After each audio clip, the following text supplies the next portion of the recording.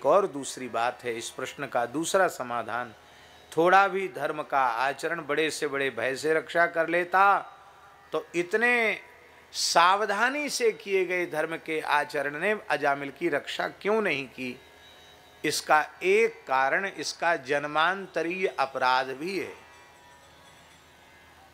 यह पूर्व जन्म में भी ऋषि ही था, ब्राह्मण ही था। बड़ा वेदज्ञ था, कर्मकांडी था, सर्वगुण संपन्न था, किसी प्रकार का कोई दोष इसमें नहीं था, बस एक ही कमी थी, कथा कीर्तन नहीं सुनता था। एक दिन कथा में जाकर बैठ गया तो कथा में भगवान व्यास की उत्पत्ति का प्रसंग आया। भगवान पराशर महर्षि के द्वारा सत्यवती के गर्भ से कैसे भगवान व्यास का अवतरण हुआ, यह प्रसंग आया।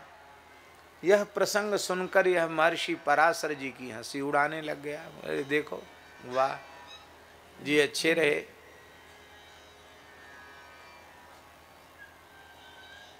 मछली के पेट से पैदा हुई कन्या, निषाद राज के द्वारा पालित पोषित कन्या, सत्यवती उस सत्यवती से उन्होंने पुत्र उत्पन्न कर दिया और कन्या की कन्या बनी रही, ऋषि के ऋषि भी बने रहे और वे वो व्यास जी भगवान हो गए। वाह अच्छा हुआ। इसका मतलब है पाप पुण्य की व्यवस्था सब छोटे मोटे लोगों के लिए, बड़े लोगों के लिए नहीं है। इस तरह से इसने महर्षि पराशर का उपहास किया। उसी समय ऋषियों को रोष हो गया।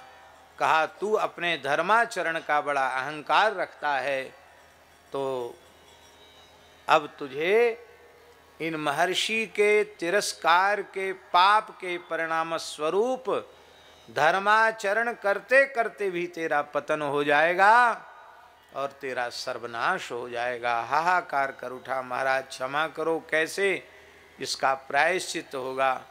बोले, फिर ये महात्मा लोग ही तुमको उबारेंगे। बोलो भक्तवत्सल भगवान की। ये कथा इसके पूर्व जन्म की है।